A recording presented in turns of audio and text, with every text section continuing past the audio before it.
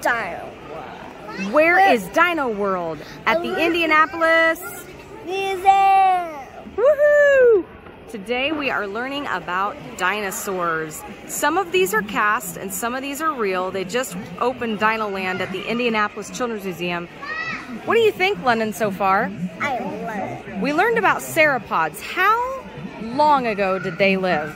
150. How many? 150. Million years ago, right? Let's go show them some footprints from that area. Let's go. God, these are footprints of of, Of predators that hunted sauropods? Yeah. It might be hard to hear us because we didn't mic up for the, but that is literally a footprint right there of something that would hunt sauropods. They were called, I think, Allosaurus, if I am correct. Yep, Allosaurus, right down at the bottom. And then they have this fun, fun guy that talks about how they've learned so much about sauropods. London, they used to think that sauropods just kind of ate leaves at the top of trees, but then they discovered they eat more like what? A household vacuum, right? How often did sauropods eat? all day. Could you eat all day? I think that sounds like a challenge. If you could eat all day, do you think you would throw up? This is the sauropod tail, and it comes all the way down. They are huge. London, how many of you do you think this sauropod could fit in its tummy if it was not a plant eater? No, tell us. Ten? Yeah. Do they eat plants or meat? Oh, do you think plants is a better diet?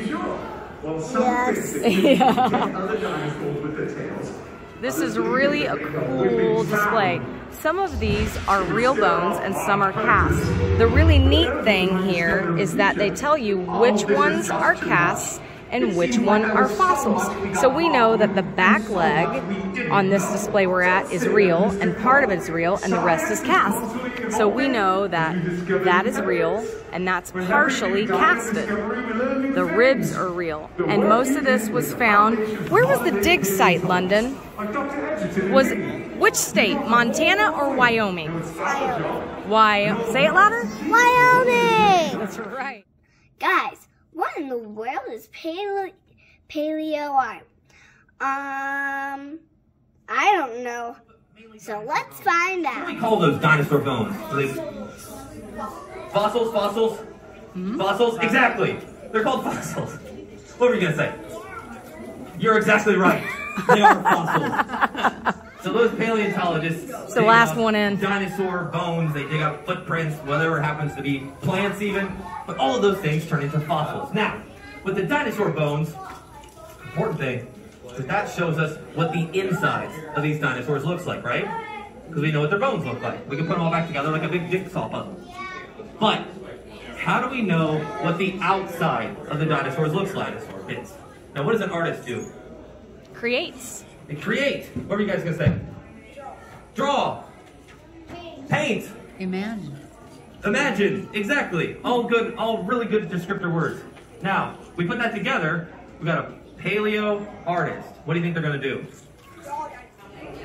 So we have to study with paleo art what the actual facts of the animal are, and then we have to look at modern day animals and figure out what is the Triceratops most like. And London, you said the Rhinoceros.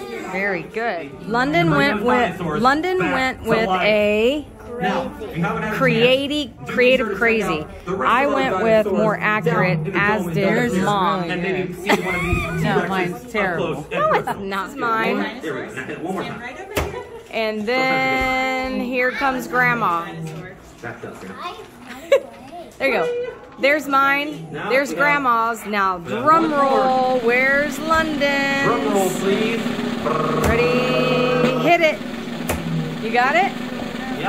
There we go. Look at that. And London's even has her little name on it up there. So there's London, there's Mommy, and there's Grandma. You don't want to forget those. Cool. What do you think about paleo art, London? I Like it. It's very creative. What do you? What would you say? What would you say to kids about paleo art? Is it cool to imagine science? It's cool to imagine science you. any which way. I love my art. And next time, what are we doing, Mom? We are talking to a dino archaeologist. Yay! See you next time. Bye.